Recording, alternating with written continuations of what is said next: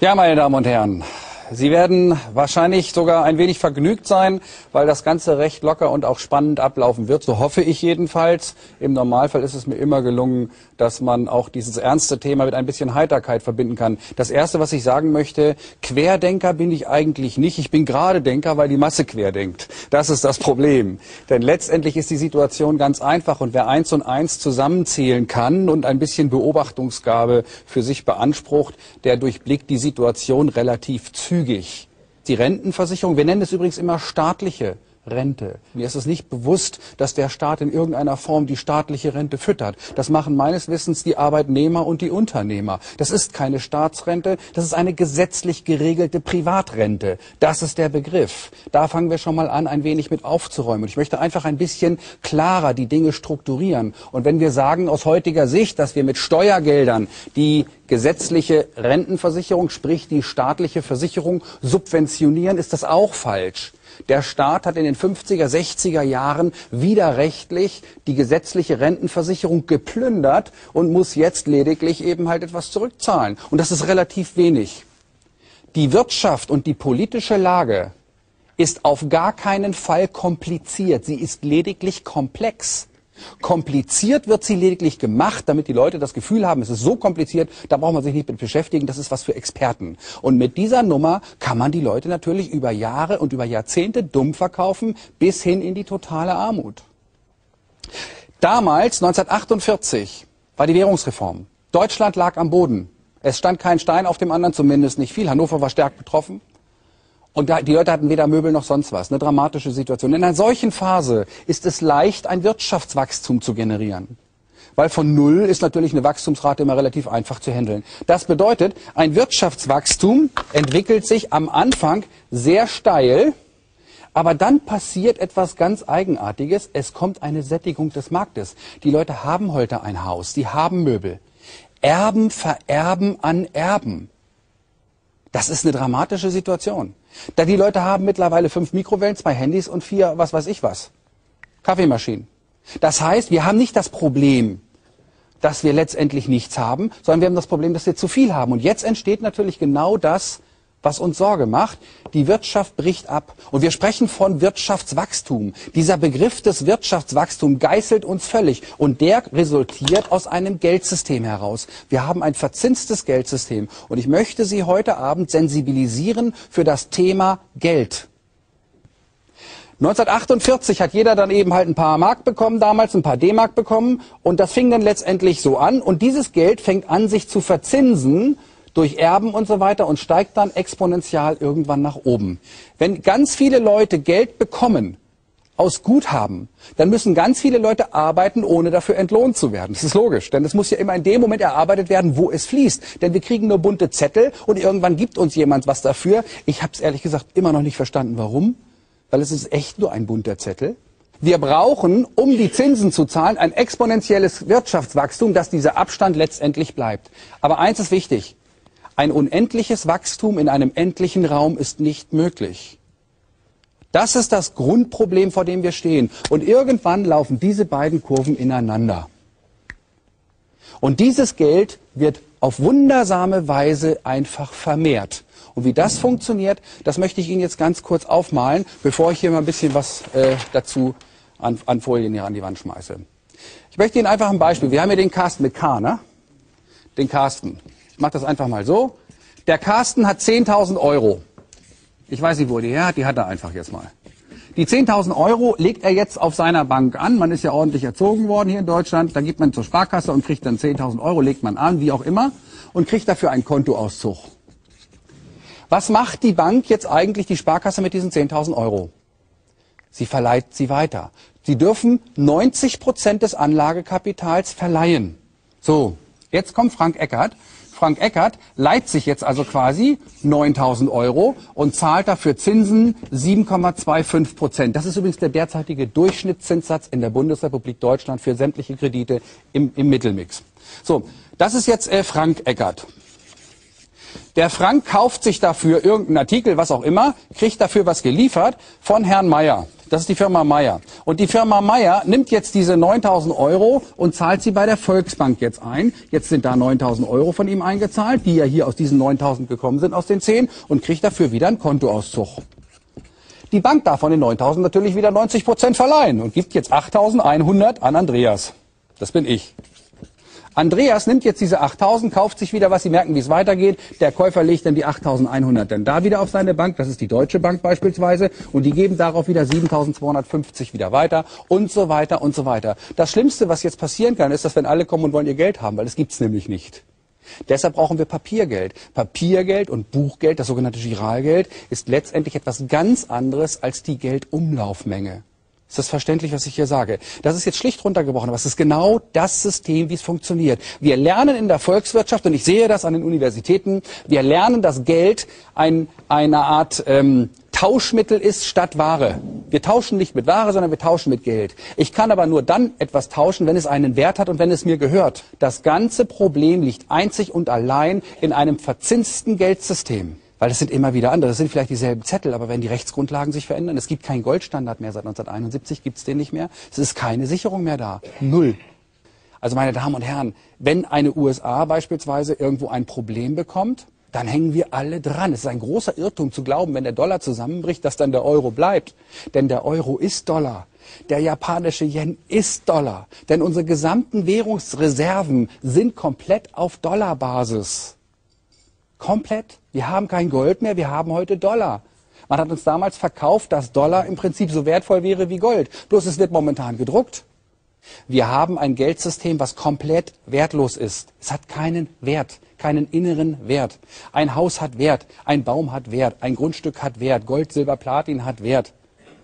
Wert hat auch eine Hose. Ein Glas Wasser in der Wüste hat unglaublich viel Wert, mehr als jedes Kilo Gold. Zinsen sind ein Schadensersatz für Inflation. Wir sollten das nicht vergessen. Was sind das in Gottes Namen? Was sind eigentlich diese Derivate? Ich möchte Ihnen ein Beispiel nennen. Derivate haben eine durchaus ernsthafte Berechtigung gehabt in ihrer Zeit. Man, das sind Wetten.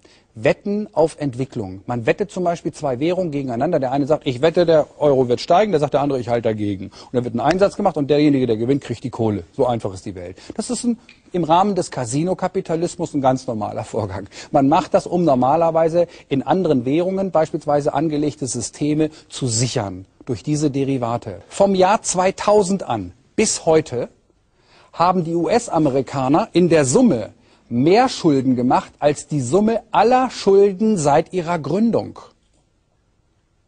Also seit 1776.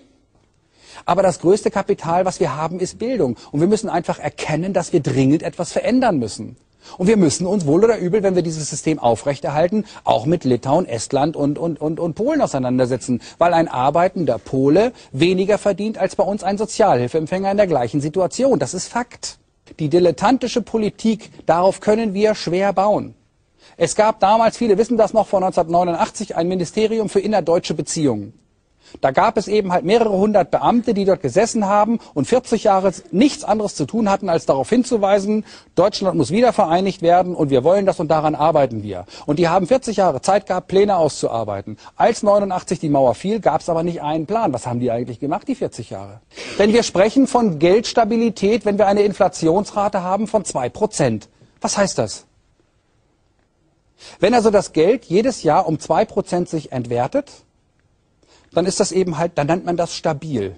Was ist denn das für eine Stabilität? Stellen Sie sich mal vor, wir hätten 1955 gesagt, ein Meter ist ein Meter, aber jedes Jahr zwei Zentimeter drauf, das können wir immer noch als Meter gelten lassen.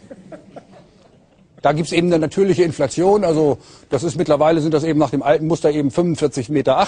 Da müssen Sie wissen, wenn einer sagt, der Schrank ist ein Meter hoch, müssen Sie erstmal fragen, aus welchem Jahr ist der denn? Das ist genau dieser Schwachsinn, den wir haben. Wir sprechen von Geldwertstabilität, wenn wir eine Inflationsrate von zwei Prozent argumentieren. Denn wir machen unglaublich viel kaputt für etwas, was wir nicht brauchen. Es geht doch nur noch um Konsum von irgendeinem Blödsinn. Man versucht irgendwas zu erfinden, um irgendwas verkaufen zu können, damit wir ein exponentielles Wirtschaftswachstum haben, was wir eigentlich gar nicht mehr bräuchten, wenn wir nicht dieses perverse System der Zinssysteme hätten. Die Alten werden um die Früchte ihrer Lebensarbeit gebracht und die Jungen haben keine Perspektive. Und jetzt muss man sich überlegen, wo kommt dieses Problem her? Und interessanterweise versucht man diese beiden Gruppen gegeneinander auszuspielen. Da fangen immer mehr Jungen gegen die Alten an vorzugehen, die Alten gehen immer mehr gegen die Jungen vor. Das kann es nicht sein. Die sind beide in derselben Situation. Das Problem ist arm gegen reich. Ich bin ganz klar für die Vereinigung der europäischen Staaten, denn was wir politisch ist ganz wichtig, was wir politisch natürlich nicht vergessen dürfen. Wir haben jetzt schon seit ganz vielen Jahren eine kriegsfreie Zone. Das ist aus, äußerst ungewöhnlich. Und da kann die bundesdeutsche Politik eine absolute Erfolgsstory vorweisen. Das muss man ganz deutlich an der Kante mal politisch sagen. Wenn Sie sich mal eine Kapitalpyramide angucken, so wie es der Banker Ihnen gerne vorgibt, dann steht da eben halt drin, unten ganz sicher festverzinsliche Wertpapiere, Garantien, Zinsen, 100 Prozent, Total Return. Was ist das in Gottes Namen? Sie kriegen letztendlich nur eine nominale Summe und das ist ein Haufen von Zetteln und den können die selbst drucken. Was ist denn das für eine Sicherheit? Was sagen denn Zinsen eigentlich aus? Nicht. Absolut nicht. Es gibt keine Sicherheit. Überhaupt keine. Es gibt nur werthaltig und es gibt nicht werthaltig. Und die Leute haben verwechselt, dass es einen Unterschied gibt zwischen Preis und Wert. Der Wert bleibt gleich. Ein Kilo Gold bleibt immer ein Kilo Gold. Wenn die Leute jetzt sagen, oh Pop, der, die haben das ja gesagt, der Goldpreis wird sich erhöhen, jetzt ist der Goldpreis um 20 Prozent gestiegen. Ich sage, ja und? Ich sage, glauben Sie, jetzt haben Sie statt ein Kilo 1,2 Kilo? Das ist immer noch ein Kilo. Wir müssen weg von diesem konditionierten Gelddenken. Wir müssen weg von diesen bunten Zetteln. Das ist eine, äh, überhaupt keine Konstante, mit der wir rechnen können. Wir glauben, dass eine Ziffer mit 100 oder 1000 uns irgendetwas sagt über Wertigkeit. Das ist das, was wir einfach brauchen für die mathematische Kalkulation. Die werden feststellen, meine Damen, wird viele von Ihnen freuen, mit Mathematik kommen Sie im ganzen System überhaupt nicht weiter. Sie sehen hier plötzlich oben drüber kommen dann Rohstoffe, Beteiligungen und Aktien, aber ganz oben in dem Bereich totales Risiko da sehen wir Anleihen, festverzinsliche Wertpapiere. Dazu gehören Lebensversicherung, Bausparverträge und die anderen Vernichtungsinstrumente bis hin zum Geld, bis hin zu den Derivaten, die Wettscheine auf Geld. Jeder glaubt, ich stelle die Pyramide auf dem Kopf. Meine Damen und Herren, nein, sie steht auf dem Kopf. Ich drehe sie nur gerade. Das Risiko einer Kapitalanlage, wie auch alle anderen Risiken, liegen immer in der Zukunft, nicht in der Vergangenheit. Mich interessiert nicht, was ich in den letzten zehn Jahren gehabt hätte, wenn ich würde. Mich interessiert, was ich in zwei, zehn Jahren habe, wenn ich heute tue. Sie sehen, langfristig bewegt es sich zwischen zwei Kanallinien, obere, untere Kanallinie. Und Sie sehen, dazwischen bewegt sich im Prinzip der Dow Jones über 200 Jahre. Langfristig, meine Damen und Herren, machen die Aktien einen Gewinn von circa 7% pro Jahr. Jetzt achten Sie mal drauf. 7% ist auch ungefähr das Zinsniveau eines Geldsystems. Mit anderen Worten, Sie haben tatsächlich eine Chance, bei einem durchschnittlich gut laufenden Aktienmarkt kein Geld zu verlieren. Von Gewinn kann überhaupt keine Rede sein. Wir sind völlig überbewertet mit den Aktien. Wenn viele glauben jetzt, die Aktien werden steigen, dann mag das funktionieren, aber nur durch ein Fantasiegebilde, durch Wettspiele, durch Psychologie, mit Sicherheit nicht durch fundamentale Gründe, aus fundamentalen Gründen, mit Sicherheit nicht. Das ist nämlich nicht möglich.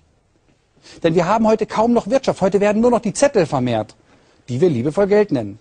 Richtig Wirtschaft fängt, fällt doch gar nicht mehr an, weil es ist alles da. Der junge Ani zieht aufs Land. Und das Erste, was Ani macht, er geht zu einem Bauern und sagt, ich möchte gern Esel kaufen. Er kauft einen Esel, alles klar, wunderbar, gibt ihm 100 Euro, dem Bauern. Der Bauer sagt, ich bringe dir morgen den Esel zu dir nach Hause. Am nächsten Tag fährt der Bauer bei Ani vor, Hänger hinten am Wagen dran und sagt, du tut mir leid, Ani, aber ich habe ein echtes Problem, der Esel ist gestern Abend gestorben. Er sagt, Arni, dann gib mir die 50 Euro zurück. Da sagt der Bauer, es tut mir leid, aber die, die habe ich gestern Abend in der Kneipe wirklich äh, versoffen, die sind einfach weg. Na gut, sagt Arni, dann lad den toten Esel ab. Da sagt der Bauer, was willst du denn mit dem toten Esel? Oh, sagt er, den werde ich verlosen. Da sagt der Bauer, du kannst doch einen toten Esel nicht verlosen. Na klar, sagt er, ich brauche doch niemandem erzählen, dass er tot ist. Aha, na gut, alles klar. Drei Wochen später, der Bauer trifft Ernie wieder und sagt, Ernie, wie sieht's aus? Alles klar, wie hat das mit dem Esel da geklappt? Oh, sagt Ernie, super. Ich habe 898 Euro Gewinn gemacht, die, die, äh, deine 100 Euro sind schon abgezogen. Da sagt der Bauer, wie hast du denn das gemacht? Ja, sagt er ganz einfach, ich habe Lose verkauft. Ich habe 500 Lose verkauft, Stück 2 Euro. Erster Preis war ein Esel. Ja, sagt er, hat sich denn keiner beschwert? Doch, sagt er, der, der den Esel gewonnen hat, aber dem habe ich seine 2 Euro zurückgegeben. Sie sehen ja 1943 war der Dow Jones, der amerikanische Markt, ganz unten. Und Sie sehen, wie 43 an stieg der Markt nach oben bis Anfang der 60er Jahre, bis auf die Tausender-Marke. Wir sind bitte nur im Schwarzen, alles andere ist uninteressant. Bis zur Tausender-Marke, das nennt man Einatmen. Und was kommt jetzt? Ausatmen. Klar. Über 20 Jahre ist der Dow Jones nie über die Tausendermarke rausgegangen. Die Wirtschaft konnte sich erholen. Durch diese rezessive Situation, durch dieses Ausatmen konnte die Wirtschaft dieser vorweggenommenen Überbewertung entgegenkompensieren. Eine ganz einfache logische Geschichte. 1982 waren die Aktien wieder unten. Hier waren sie ganz oben, hier waren sie ganz unten, weil die Inflation hat es gefressen. Dann kam wieder Einatmen. Jetzt sind wir hier. Und jetzt sagt einer, und jetzt geht's nach oben. Ich weiß nicht. Meine Damen und Herren, wir sind in derselben Situation, wie wir 63 waren.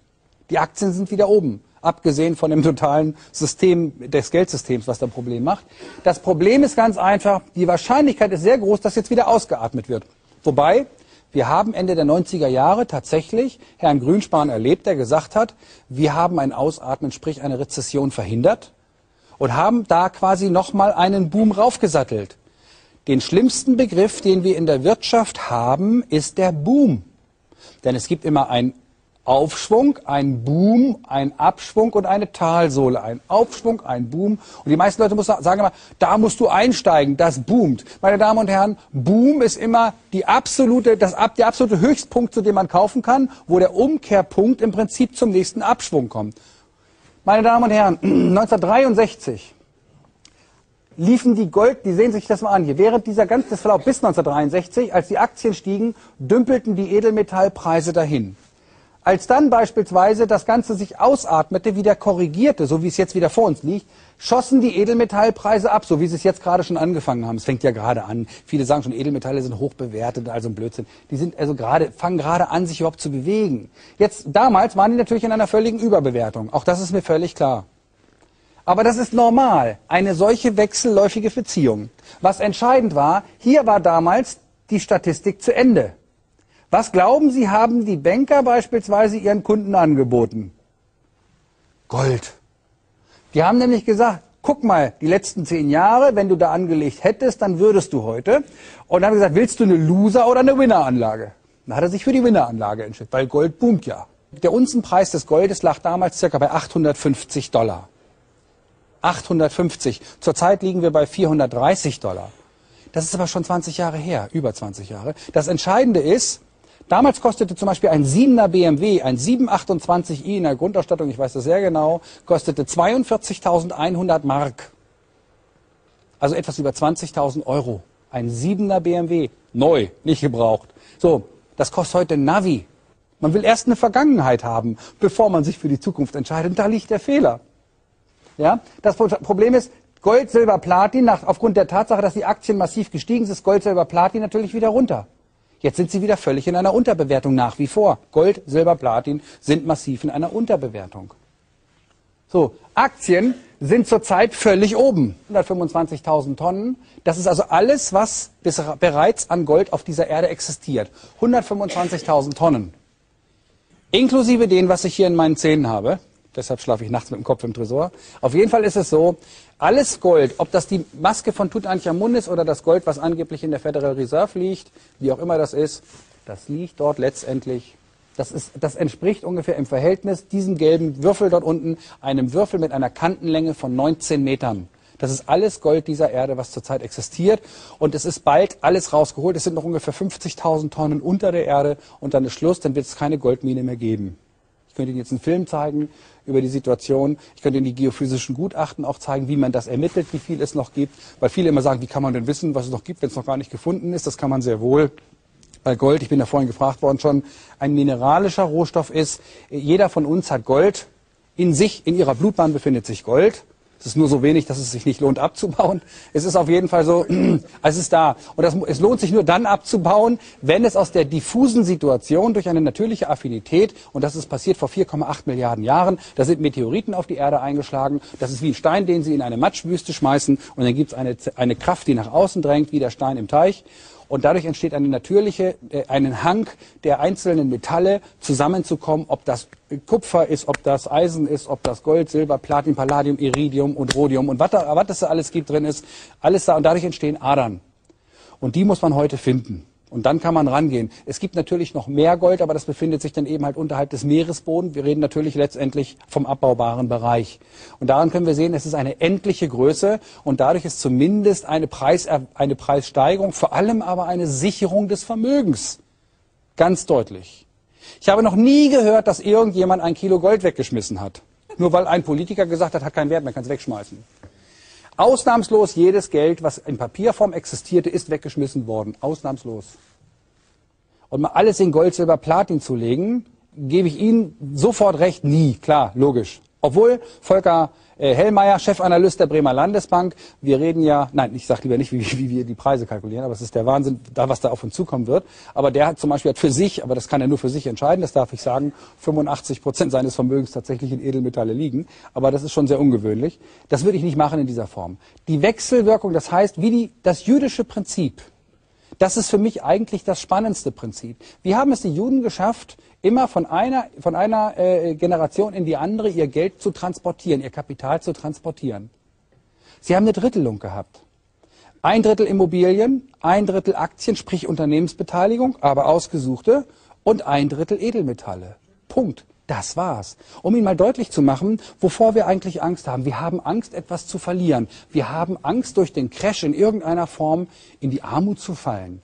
Das ist nicht ganz ungerechtfertigt, wobei wir alle nicht wissen, was Armut ist.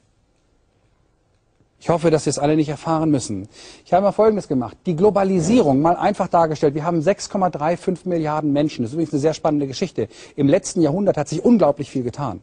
Wir haben heute über Informationstechnologien, über Internet Möglichkeiten, die keiner mehr verarbeiten kann. Aus diesem ganzen Chaos entsteht etwas Neues und ich spüre immer wieder in den, in den, in den Gruppen von Menschen, es entwickelt sich eine Avantgarde, die den Namen verdient. Eine neue Bewusstseinsebene, die sich langsam herausholt und die sagen, so geht's nicht weiter. Wir haben eine unglaublich wichtige Aufgabe. Es, man braucht den Kopf nicht in den Sand stecken. Aber ich möchte es Ihnen mal deutlich machen, wo, wie unsere Welt eigentlich aussieht. 6,35 Milliarden Menschen sind so unglaublich viel, dass man sie sich nicht vorstellen kann. Und ich habe die Globalisierung einfach mal runtergefahren. Stellen Sie sich mal vor, wenn unsere Welt ein globales Dorf wäre mit 1000 Einwohnern. 1000 Einwohner auf der ganzen Welt. Das wäre das Dorf, in dem Sie jetzt leben. Das ist eine Größenordnung, die wir uns noch vorstellen können. Dann würden dort in diesem Dorf leben 570 Asiaten und Australier und 200 Europäer.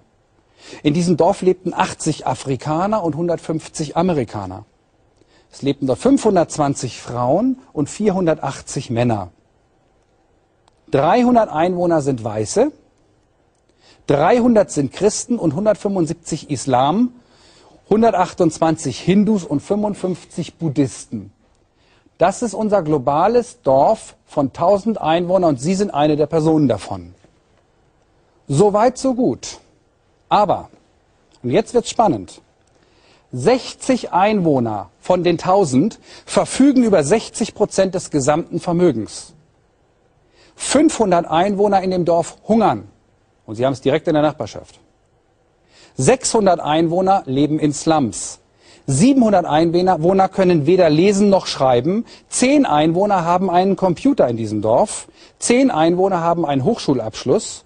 Und 80 Einwohner haben gerade Geld oder ein Konto, wobei wir ab einem Dollar als Geld haben bezeichnet haben. Das ist das Dorf, in dem wir leben.